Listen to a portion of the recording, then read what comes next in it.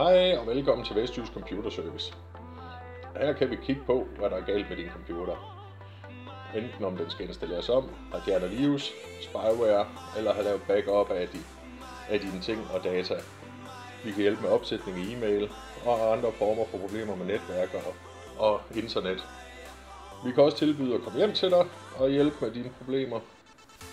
Udover det, så bygger vi også computer helt fra bunden af, både til almindelige kontorcomputere eller hardcore gaming computere ud fra dine personlige specifikationer.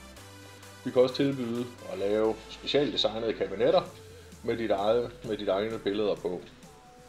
Øh, vi har et bredt sortiment af kabler i butikken, samt et bredt udvalg af Awesome Gaming Gear, som er et godt alternativ til andre større mærker af gamingudstyr. Men kom ind på wjcs.dk og se noget af det, vi kan.